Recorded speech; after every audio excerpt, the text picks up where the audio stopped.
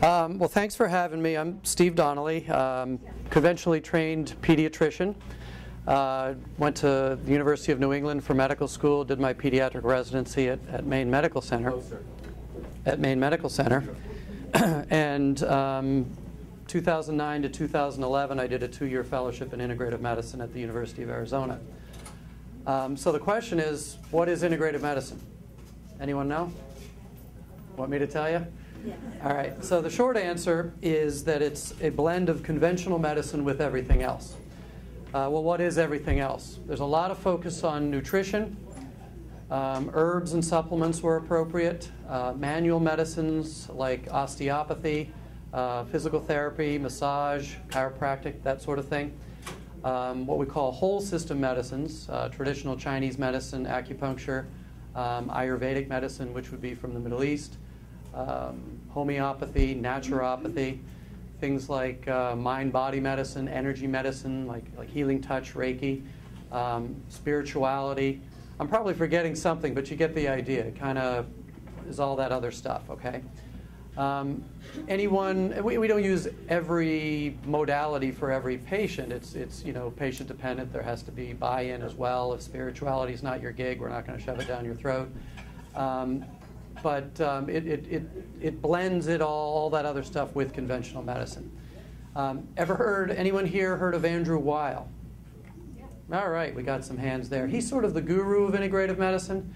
Um, conventionally trained physician. He's tra he trained at Harvard, went to medical school at Harvard. Um, but over the years, just became a little frustrated at times with how, how narrowly focused conventional medicine can be at times. And you know, this is in no way poo-pooing conventional medicine at all. Um, much, much good has come out of conventional medicine. But the idea is, you know, and I don't know what he stumbled across first, but for example, um, acupuncture works very, very well for migraine headaches. And you know, he stumbled across that, and he's like, "Geez, why aren't we at least offering this or discussing this as a potential therapy? You know, instead of always going to the prescription." Um, ginger works very good for morning sickness during pregnancy and nausea during like the stomach flu. That's where sipping ginger ale comes from. Uh, the issue is these days there's no real ginger in ginger ale, so it doesn't work. Um, but you know maybe that's a little safer for the fetus during pregnancy, and you know especially with this stuff out now about you know Zofran and, and stuff being used during pregnancy and potential birth defects. Um, so the point is, why aren't we offering this as, as a as a another possibility, another modality. And anyway, the more and more he stumbled across, the more and more he found validity in, in these things. And he ended up creating a team of experts in all those modalities and set up a program at the University of Arizona, uh, two-year fellowship program where providers like myself can go out and learn about these things. So um, I did that from 2009 to 2011, and uh, fascinating program. And you know, I blended in with my conventional um, medicine. So you know, how, what, you know, as it, as it pertains to CF, um, you know, one of the things I always, I always start out with everybody um, is nutrition. And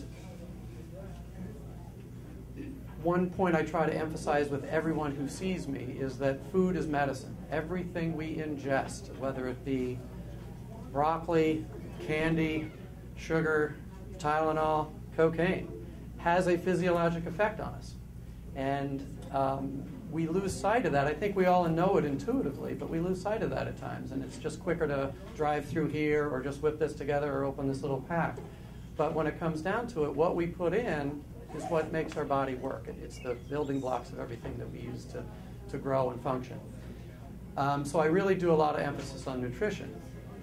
And I'm going to sort of get off a little bit, and, and but there's a method to my madness, so, so bear with me. And everyone who comes to see me hears this uh, um, so, if you think about what ails us right now as a society, um, heart disease, cancer, number one, number two. So again, it sounds like I'm way off base here, but there is a method um, to my madness. When I was in school, those were two separate areas of um, study: cardiology um, oncology, and not felt to be linked by any one particular thing. Another big area on the rise, um, neurodegenerative diseases like uh, Parkinson's and Alzheimer's. Okay, again, separate area of study, neurology, not felt to be linked to those prior, previous two. Another big area, uh, autism, uh, depression, anxiety, ADHD. Those things are skyrocketing. Okay, again, not felt to be related to those previous things. But what you're gathering is that there is a link. Okay, and there is, but we can throw into that link um, asthma. Okay, um, which with CF is a big thing. Okay, um, arthritis, um, autoimmune diseases like diabetes and, and thyroid, um, eczema, allergies, inflammatory bowel, irritable bowel. You can go on and on. The common thread with all of those illnesses is inflammation. Okay, inflammation around the arteries the heart disease. Cancer has its roots in inflammation. Um, there's a, a, cytokine theory of depression. Cytokines are inflammatory mediators. Okay, so all, and we know that inflammation in the lungs is the main driver in asthma. Okay, so where is all this inflammation coming from? A big, big smoking gun is what we're eating and or not eating. Okay, and if you look around the world where traditional diets, traditional cultures, where their diets were highly plant-based, lots of vegetables, fruits healthy grains, also lots of fish, um, some beef, poultry, pork maybe, um, but very little to no processed foods. You did not see anywhere near the rates of any of those categories of illnesses like you do here in the West. Okay, so it does kind of make you think. Okay, is it something that we're eating? Um, now that we're exporting our Western diet, standard American diet all over the world, skyrocketing, all those things. Okay, so again, raises that red flag. Is it something we're eating or not eating? Um, more and more evidence is coming out supporting that. What is it about our standard American diet that's pro-inflammatory? And so, again, with asthma being a big component, lung stuff in the, with, with CF, we want to limit our inflammatory drives. Okay, what can we do environmentally? What can we do to try to limit, limit that exposure? Um, so what is it about the standard American diet?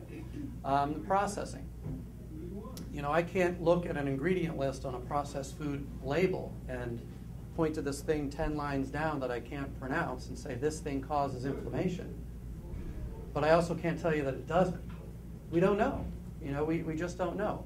We're really being used as guinea pigs. The food lobby here is, is tremendous. To just emphasize that point, there are seven dyes and preservatives banned in the UK and European Union. They're banned over there because of documented evidence linking them to behavioral and learning issues in some people. Not everyone, but some. But they're banned. They're all throughout our food supply here. Okay, I'm not, I'm not saying that they're inflammatory. I'm just saying that our government isn't doing a good job in, in, in, in keeping us from being exposed to it. Um, another big area would be, you know, pesticides. Pesticides um, are neurotoxins to the pests that we're trying to keep from destroying our crops. Okay, at worst, it might be neurotoxic to us, although the proponents will say, oh, we don't have those uh, metabolic enzymes or those metabolic pathways, sorry, um, that those pests do, so it doesn't affect us. Okay, well, maybe that's true, but you know what? There's some evidence now coming out that our bacteria in our guts may have those same um, metabolic pathways, and maybe the pesticide residue on our produce is altering our gut microbiome, okay, the bacteria that live in our gut. And you know, we know that the gut microbiome is involved in clearing toxins from the body. We know that the gut microbiome is helpful in developing the immune system. And if that's imbalanced by whatever reason, and you know, antibiotics and such as well, then what, what does that do? And that's sort of a, a, new area of research that you know we don't know a lot about, but but you know we know all about these pesticides being uh, put on the foods. Don't even get me going on genetically modified foods. Um, but even breaking it down into the, the macronutrients, okay, like carbohydrates, fats, and proteins. The breakdown of carbs, fats, and proteins has shifted tremendously over the last 40 or 50 years to be very high, high, high in carbohydrates. And on top of that, very high in sugar, okay?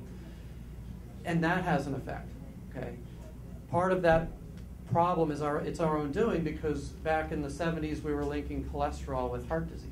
Okay, and so well, cholesterol comes from fat, therefore we shouldn't eat fat and low fat, low fat, low fat. Well, you take the fat out of foods, you got to replace it with things like to make it taste better, like sugar and carbs, and so that's again a part of our own doing. The irony of it is that the cholesterol is not the issue with heart disease. It's the body's inappropriate response, or uh, the body's response to what? Inflammation. Okay, the body's depositing cholesterol down there, trying to heal inflammation. So it all comes back to inflammation. So maybe we created our own problem. But what happens if you eat a carb load and there's no fat, protein, fiber in that mix? If it's just straight carbs. And carbs are going to be your, your breads, your pastas, your cereals, your crackers, your juices, your candy, stuff like that. All carbs are converted to sugar. Carbs go in, blood sugar spikes. At the peak of blood sugar, inflammation is created. There's reactions called advanced glycemic end products. And these are reactions between sugar and proteins throughout the body. And this is sort of where the genetics comes in. If your genetics is to heart disease, maybe that inflammation contributes to the inflammation around the arteries of your heart. If it's to asthma, lungs on fire. Okay. Um, you know, it's not 100% the driver, but it, it, can be contributing to it. So, um, there's an interesting theory out there looking at diabetes as a model for advanced aging. Okay, um, diabetics as a population get depression far greater than the general public, and they get it young. They get heart disease far greater than the general public, and they get it young. Um, they get cataracts, they get kidney disease, they get sensory neuropathies, they get all these things that you wouldn't expect an otherwise healthy person to get until they're really old. Their issue is what? Blood sugar, right? Because their pancreas isn't making insulin. So they have high blood sugar, okay? Extrapolating that out to what I was talking about our diet being very high in carb and on top of that high in sugar, on average, this average American's blood sugar is higher than it was 40 years ago. Is that a reason for all the rise in some of this, these things that we're seeing? And there's more and more evidence coming out to support that. Um, just to sort of throw out another little tidbit to that, unlike a diabetic, we do have a pancreas that makes insulin. So our, our, our sugar levels on average are higher, our insulin levels in response to that are higher, and there's a whole cascade of downstream effects that's beyond me. I'm not an endocrinologist, but there's a there's a whole cascade of downstream effect. And is that what we don't know? Is that contributing to this? And, and again, more and more stuff supporting that. The other big pro-inflammatory drive is that we get too many omega-6 fats and not enough omega-3 fats. Okay, omega-6 fats come from the oils of grain, corn oil, sunflower oil, cottonseed oil, soybean oil. These oils, when they're ingested, these fats, when they're ingested, become the building blocks of hormones that upregulate inflammation. Further down the line, they upregulate cell division, so that's your cancer link. Omega 3s from fish come do the opposite. They downregulate inflammation, downregulate cell division. So, where do you see these omega 6 oils? The sunflower, the cottonseed, the soy, and, and corn. Any processed food ingredient list, right? Usually you see sugar and then contains one or more of the following oils, very high up on the list. Okay, so if we eat a highly processed diet, we're getting that pro-inflammatory drive, not only from the sugar and the carbs, but also from the, from the omega-6. Um, and, and most Americans don't eat enough fish, so they have this real high pro-inflammatory drive, um, and nothing to offset it. Normally, you want about a 5 to 1 ratio omega-6 to omega-3. Inflammation is actually an important part of our immune response, part of our healing response. So it's an important mechanism, but we just don't want it left unchecked. So you need things in balance. So normally, again, you want about a 5 to 1 ratio omega-6 to omega-3. The standard American diet ranges anywhere from 25 or 40 to 1 pro omega-6, pro-inflammatory. And that's and then on top of that, the high carb stuff. So diet is a big thing I, I talk about with, with CF patients. Um, you know, calories, big thing. Um, the metabolic demands require like 120 to 150 percent of um, caloric intake compared to, to norms.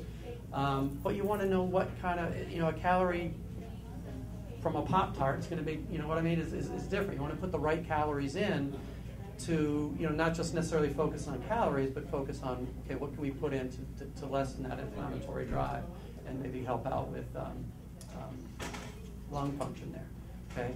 So I talk a big part about that. Um, there's also a high, um, uh, you know, the, the absorption in the gut of the fat soluble vitamins A, D, E, and K. So make sure we're, you know, most of the, the AquADEK vitamins are, are, the, are the big ones taken, but I also try to make sure that they're in the diet, check levels. Um, uh, your, your antioxidants are depleted, so we kind of check those, make sure we're getting plenty of foods with antioxidants, make sure that any supplements there that can be helpful. Um, beyond that, things like osteopathy can be very, very helpful um, for CF patients. I meant to ask David Keller, um, he's an osteopath that, uh, along with Brian Beck, does a lot of work at the Barbara Bush Children's Hospital. And I seem to remember him, he and I share space in my, in my integrative office. Um, and I seem to remember him telling me about a study that he's involved in where they do um, some of the manipulative techniques, and they are showing improved lung function, improved ability to, ability to sort of get around the unit and stuff much quicker than if it's not done. Um, so that's you know a very important component of uh, sort of the integrative medicine. Um, probiotics can also be very helpful. Um, Lactobacillus GG has, has been one that um, has been shown to um, be very helpful reducing gut inflammation and maybe even helping pulmonary function as well. Um, there's several herbs to think about. Um, you know, and then things like massage therapy can be very helpful in improving lymphatic flow. You know, getting back to the herbal stuff, sometimes I'll focus on, okay, how can we, we boost the immune response, um, you know, so these sort of viral colds don't lead into secondary infection. How can we, how can we sort of boost that response there too? So there's many sort of avenues that I kind of work at, but uh, I always drive home the nutrition. If you didn't guess, I'm passionate about that. So, any, I guess I'll pass it on now, all right? Um, unless anyone has some specific questions. Yeah. How would you recommend the administration of the probiotics? Um, you mean orally versus, or? Well, um, daily, twice daily. I've heard two weeks on, two weeks off. Um, yeah, I don't think you need to take them continuously. I think two weeks on, two weeks off is reasonable, but I think daily is probably the way to go.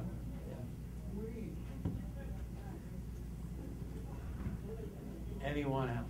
Oh, yes.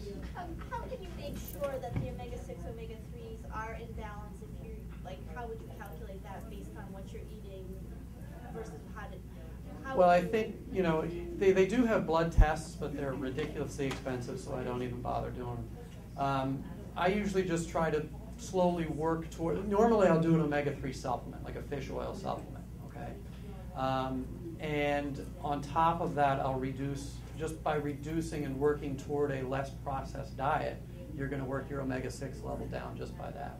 And if you were to go higher on omega-3, is that ever bad with the ratio of omega-3 goes higher than the five to one?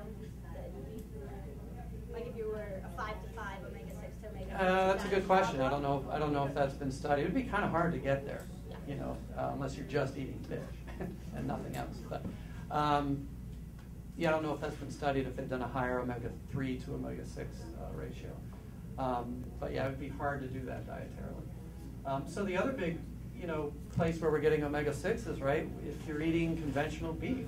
Cows are fed grains, right?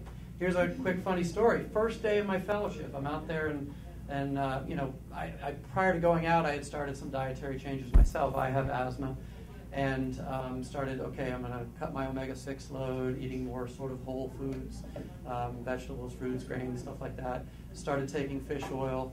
Um, also corrected my vitamin D and my asthma symptoms. I mean, I was always in well control, but I, I noticed dramatic improvements in my um, just breath. I mean, I was able to. I was able to. Well, for example, I'm a runner. I, I never need my albuterol inhaler. Um, always been well controlled. But when I started this regimen, like three months later, I remember being out running and thinking, "Wow, I feel like I'm in bed, asleep, breathing, but I'm out running six miles." But it had never been a problem before. I just didn't know how good it could be. Okay. Um, so anyway, back to the dietary. I was able to drop off some of my inflammatory meds. I'm still on like a low level um, inhaled corticosteroid, but I got rid of Singulair, I got rid of uh, the mid-level um, inhaled corticosteroids. so I lowered my, my load just through, through those dietary changes. But anyway, I started saying, okay, I'm going to eat farm-raised salmon. I don't want to deal with the mercury and the PCBs and the ocean fish and all that stuff. So um, I go out to Arizona, first day of the fellowship. Um, Dr. Weil says, who here eats farm-raised salmon? And I proudly raised my hand, and I looked around the room, and there's only other like three other hands up and 75 people. I'm like, oh, and he goes, You're not getting omega 3, you're getting omega 6 because they feed farm raised salmon corn grains. I did. No? So they just, you get hit everywhere with it. So, yes? What are your thoughts on essential oils? I think those are awesome. I, I, I that's my next big venture. Um, we did a brief introduction to them. Um, they're fascinating, and you know, there's there's a lot of research looking into them as antimicrobials um, because um, unlike say conventional antibiotics where there might be one maybe two mechanisms of action the essential oils have several. So it's hard for bacteria to develop resistance when they're being hit by different mechanisms of that oil. Um, so there's a lot of research there. So i think um, you know things like um, eucalyptus oil um, can be very helpful for opening the airways and stuff like that. Um, but yeah, I, I don't know a lot, but uh, that's my sort of next interest once I find time. I have a question. Yes. I should probably make an appointment with you. Sorry. but um, there are lots of organizations or companies that have gone on the omega three bandwagon, and you can buy anything from Rite Aid brand to How do you know you're getting the best quality? Excellent question. The question was, um, you know, there's a lot of, you know, you could actually raise this question with supplements in general, not just omega 3s. Um, so when I give specific recommendations um, on products, these um, I use a, a third-party lab that, that tests these things to make sure that you're getting what you're getting. Um, so, for example, um, you know, Carlson fish oil is what I like, and, and you know, it's been third-party tested, and um, you get what, you're, what, what it says on the label. Whereas you can go down the list and look at some of these, you know, Fred's, Walmart, whatever, you know, uh, fish oil. You know, it could be WD-40 for all you know. But um, I'm just kidding. There, it's not. But um, but you know, they do the test to say, are you getting the ratio of DHA to EPA or EPA to DHA, which are the subcomponents of the omega-3s? Are you getting in that sample or in that in that capsule or in that liquid what the label says? And there's a number that don't pass the test. So Carlson is one that I use a lot that typically does. Um, so anyway, when I give whatever product, um, whether it be multivitamin, whether it be vitamin D or whatever, I give specific recommendations based on that third-party lab. Do you find it's um, you, you finding that um, your patients are getting insurance coverage easier these days? Is it improving? Yeah, I, I haven't had any problems um, So, um, um, you know, I, I don't know as they. I mean, the issue is, you know, they're, they're, I'm billing under a general pediatrician. Um, that's what I am, and, and, and even though there is fellowship uh, training in in integrative medicine, the and there's actually a board certification in, in integrative medicine. The insurance companies haven't recognized yet so that yet, so they haven't set up like specialist categories like a pulmonologist might have or something like that. Um, but I, I haven't had any issue with insurance reimbursement.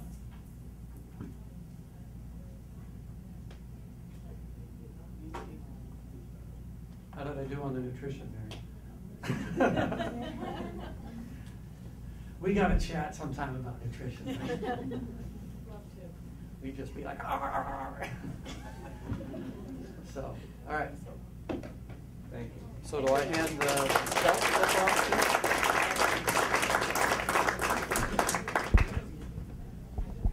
So in addition to um, integrative medicine, we also wanted to spend a few minutes on what works for uh, kids with CF and rising almost adults with CF. So um, I would say I invited, but I think I'm going to say I drafted a, a few um, moms to come up here and participate. And we're just going to ask them some questions about their kids and feel free to jump in at any moment. I think I'm going to start at this end. Uh, Vicky's a mom of a pretty serious high school athlete who manages to be a high school athlete and do all his treatments and actually works a little bit on his nutrition. And I think um, what I want to ask her is really how did you get here? How did this happen? All of us, you know, with your children with CF and your children without CF, it's hard to get there to get all that in. And how, how did some things she can think of as a mom that got him to where he is right now?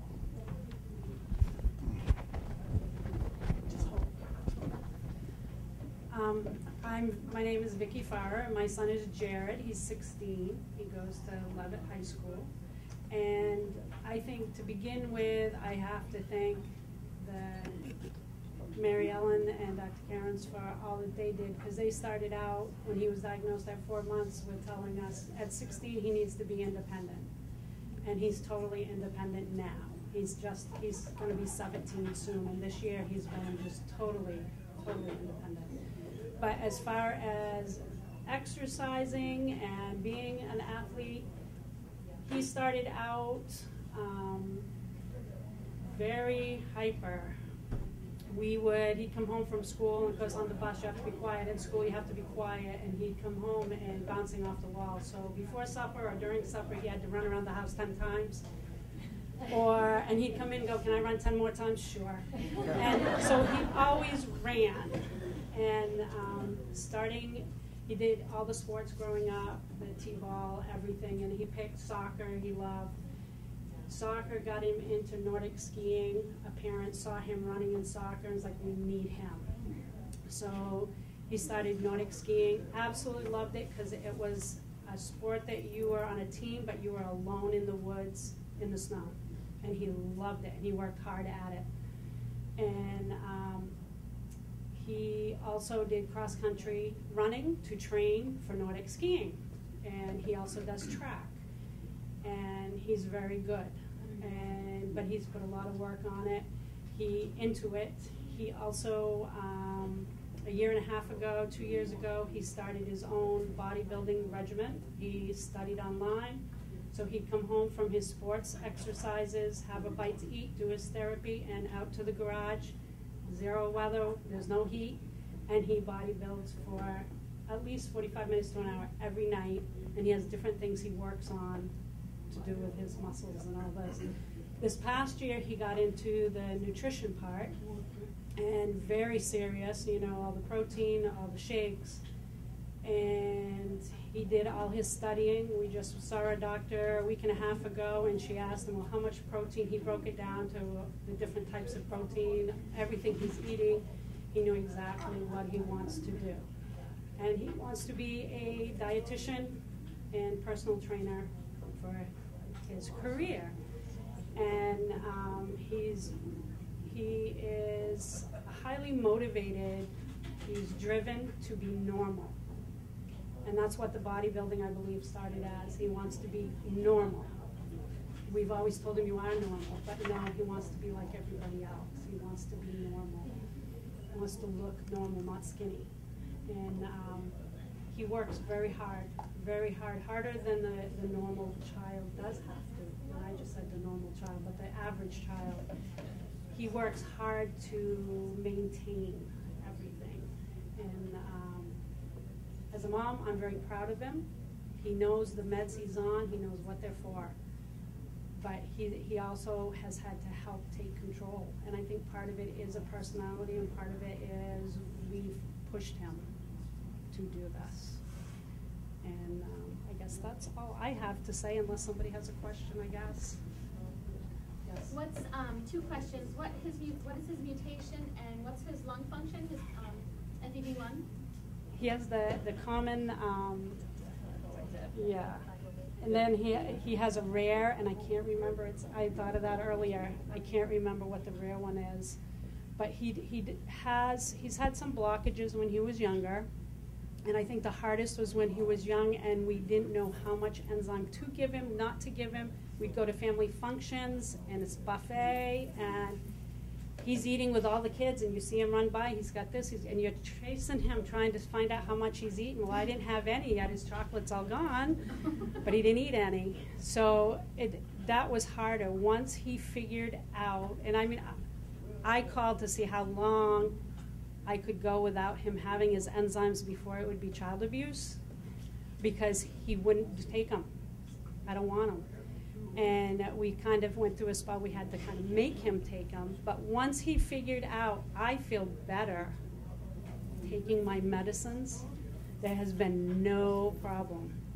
For him, it was his first hospitalization, which was when he was in eighth grade.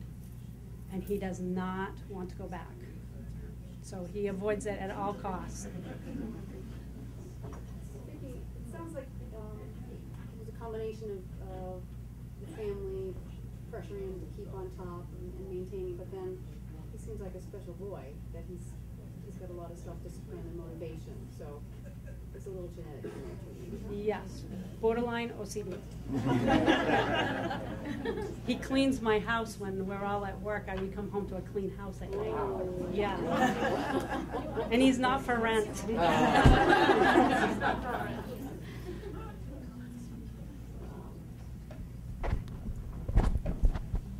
Thanks, Vicki. Um, so next, um, Angela is a mom of a middle school child. Another challenge. Her middle school child is also active in um, the current Vertex trial and has been for a while. So we spent a lot of time with them, um, and has some really great characteristics. I think that keep between their relationship, mom and daughter relationship, and how things move forward has really helped. A lot of humor, I think, really helps in their lifestyle because any of us who've been um, pre adolescent parents can tell you it's not always easy. So, what, um, she's got a lot to manage. So, she, you know, at the other extreme, she's been in the hospital quite a few times. She um, has a lot of things she does for her health care and manages. So, we just want to ask Angela to tell us how she gets all those things done in one day. Yay. so I'm Angela, and my daughter is Melena. She's 14, and she goes to Medomak Middle School, and we are going to be a freshman next year. And she does every sport. She does soccer. She does. She's doing softball right now. She does basketball. So it's kind of hard when you're in middle school. You have to practice every day. I mean, Monday through Friday. It's not like elementary school when you only have one or two days of practice. So you have to make sure that you're getting her best in in the morning. And she gets up around five at five thirty to do that, which that is she doesn't want to do it.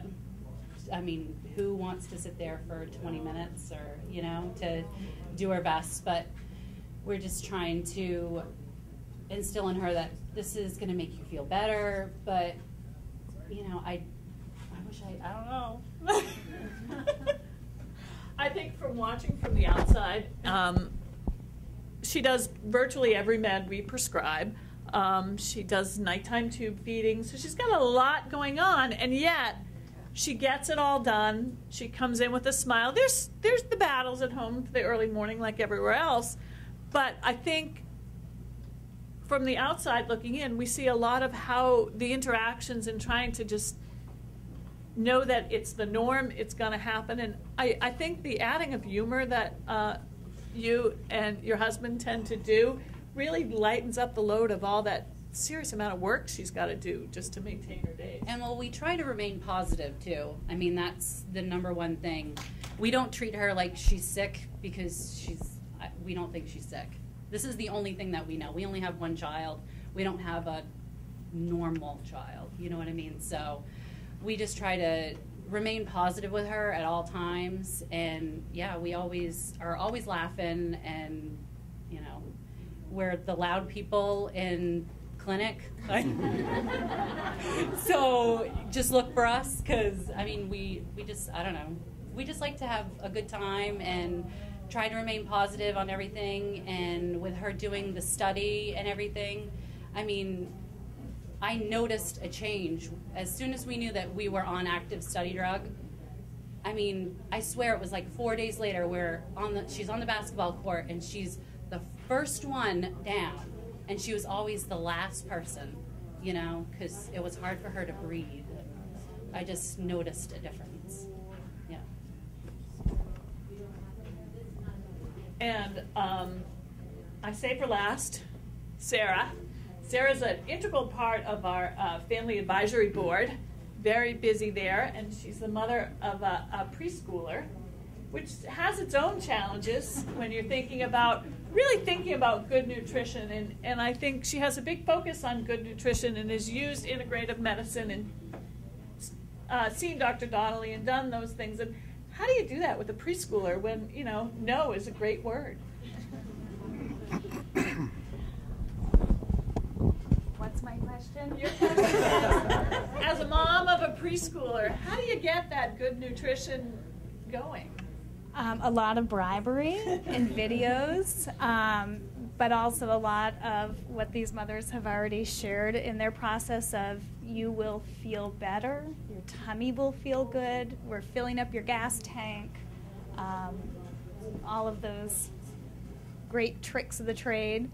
Um, I think for Mamie, who's four, we have found that um, keeping a spreadsheet and letting her be in the process of that, that we'd get a check for this, we get a check for that, and checking that out at the end of the day. And, and it's not just for daddy and mommy to keep track of your meds, it's for you to keep track of how you're feeling, what do you want to share about the day. We write a little note. Um, we also, even though Mamie's only four, we work really hard to keep her extremely active. She had a trampoline before she could walk, and she bounced before she walked, and she started skiing at two. And she takes that gondola to the top of the mountain and buzzes around, and people just stop and stare. I've been one of those people stopping and staring, I think, when she skied by me. Um, we are going to work hard to just make her days active and full, and that starts with nutrition all the way to her um, exercising routine. So we're, we're trying to do our best too. Questions for anybody up here or thoughts from the audience? For a parent uh, participating in a trial, what, I guess, what's your, what does it involve and and what's your typical experience? So um, when we first um, started with the trial, we came in. I was it every every week or yeah, couple couple weeks. I mean, it's blood draws every time we go in, and my daughter is not an easy stick. We have to have certain people that can draw her because it's it's awful. And now we, I think we have it pretty much down, don't we, Carrie? Yeah, I think, yeah, we pretty much have it down. But I mean, EKGs, um, we have to do the PFTs every time we go in, and questionnaires, and I mean, every, I mean, this isn't the first study we've been on either. Um, you know, she's done several, you know, since she was little. And I mean, you never want to like have your child have any harm done to them or anything like that. So it was good with this with this with this drug. She was going to have to have blood draws, and we knew how bad it was going to be for her to, you know, undertake this. But she says, you know, I'm going to be helping, hopefully myself out, and I'm hopefully going to be helping other people out too. So I mean, it's just now it's easy. You know, we just have our our times. We go, what is that, every 12 weeks now, and go to Portland, and usually they're quick visits and get her height and her weight. I mean, just the average stuff that when you go to the doc, when you go to clinic. I mean, really, other than the blood draws. but we we're really happy that we that she did it, or that she's doing it. Can I just make a point about that? Um, I think some people also worry in drug trials that what if they end up on the placebo? So they're not on the drug that's being tested, they're on the drug that you're just, it's, it's a, you know, not a real drug that we're trying to compare it to. But actually, people have shown that even, even patients on placebo often improve in research trials because just of all the attention that's paid to them, the attention that they're paying to their disease, coming into clinic frequently, the monitoring, so if they often improve, even when they're not on drugs. So, it's a good thing to think So for that didn't hear Dr. Cairns is, there are other benefits from being on a trial. Um, she had said people often worry about placebo. Um, my child's going to get placebo. Why am I going through this and not getting the real drug? But there's been studies that show that just being on the study and the extra visits and extra attention help. Many of the studies go placebo, as this one did. Half were placebo, or I don't know if it was exactly half. Some were placebo and some had drug, and then they moved to all had drug and looked at that. So there's a lot of different ways studies are done. It's not all placebo controlled, too. And another benefit being that a lot of the studies that we are testing, if they're seeing a benefit, a lot of people will get, if you're on the study, you may get rolled into actual getting the medication before it's clinically available while they're doing the testing on different doses placebo part is that you may get access to the drug quicker if they find that it's working. And- and access to the drug quicker if they find that it's working is good, but also access to having so much information about your disease, I think, as a child, and even with the adults. So being part of a research study, you're also learning a lot yourselves, both as parents and as kids, about the disease and how it works and how these new treatments may work. For both Vicky and Angela, um, what were the,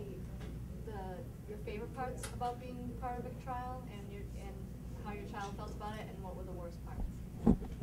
Repeat I'll the let you, question. So, uh, favorite parts as a parent with your child being in a study and worst parts? Um, I think the, the worst part was knowing there could be side effects down the road. Um, and I think the hard, another hard part was sitting your child down and explaining, yes, you're gonna make money doing it, but explaining to them according to age the side effects that could happen down the road and the reality and letting them be part of the decision making was hard to to do. Because you knew the money was motivating but they also I, I was amazed at how much he really understood and how much like angela said that he wanted to be a part of it to help others as well as himself and so he was willing to do it even if there was side effects Can I just say I agree? No, I will. Um, yeah, and you also, I mean, I totally agree with what you said, and we also have a great connection with Carrie. I mean, she, I mean, Melena absolutely loves her, and I don't, I don't know. It's just the worst part. Blood draws are definitely our worst, our worst thing to deal with. But um, I mean, we are always laughing. Um, Carrie was out on maternity leave, and we ended up coming for a study, a study visit, and Melena's doing doing her little questionnaire, and I'm doing mine. And Melena says, "I can't do my questionnaire. I don't speak Spanish." And I was like, "What are you talking about? What, you know?" Because she's learning Spanish in school, and her. her study guide was all in Spanish. So she had to go hunt for a an English speaking oh my god, it was it was the funniest thing and we were just in there roaring and it she's it's just I don't know, you just create a relationship with everybody and you know there are side effects to the drugs. You know that there could be, but it's just one of those things that Melina's 14 she had to make the decision on her own. It's not my decision. Well, it is my decision, but I have to kind of let that stuff go. You know, she's got to be be her own person, and she's you know very independent. And yeah, Perfect. Other questions? All right, I'm going to invite uh, Ted Reed and Dr. Cairns back up, and we're just going to thank everybody for coming. One of the things we I was thinking about the other night, the very first family education day I participated in was uh, about 12 or 13 years ago, upstairs from the Hannaford in our waiting room, and it was a potluck. So Dr. Cairns, myself, Russell was there, Mary Butine was there. Um, there was no, adu- the adult center wasn't really happening yet. Um, and um, we had, I think, about eight parents come. We did all this preparation. So I think what a change over the years. And, and now the Family Advisory Board is doing so much. Um, it really makes it work for everyone.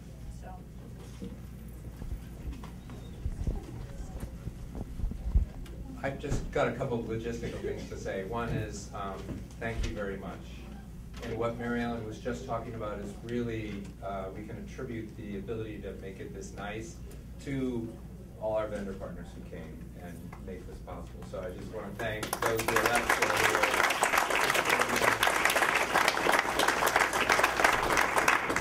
And they support a lot of other family advisory boards in the United States. So that whole process is really, really welcome. Um, a couple of reminders. Um, there are purple uh, forms for feedback. We really, really would like you to just fill them out. Um, if you could uh, bring them to one of these front tables so we can find them, that would be awesome.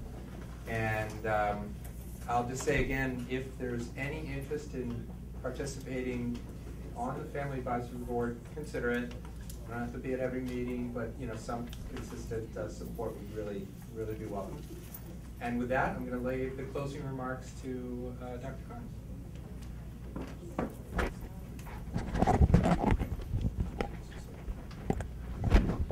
Okay, so, um, I just, behind this.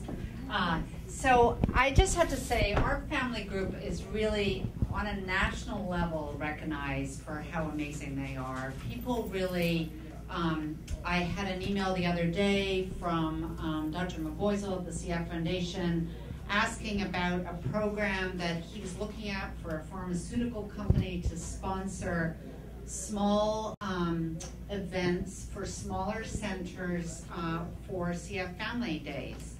And he said, I immediately thought of a medical center because I know you have such a wonderful um, family advisory group that are so strong, and you're a smaller center, and you were the first center that came to mind. So I think we should give the family group a big round of applause because they really, on a national level,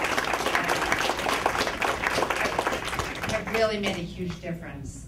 Um, and I also just have to say it's just wonderful, I think, for Mary Ellen and Cindy and Jonathan and I, who have done this for a very long time, to now see, you know, our center has gotten so much bigger. Our team has expanded, you know, our physicians, our social worker, everyone. We have more than we've ever had. And I think we're just in a really terrific place in research, in quality improvement, expanding our adult center, and I think we're really going to be able to, to make our center one of the best in the country for all of you. And we really want you to contribute, to give us your input.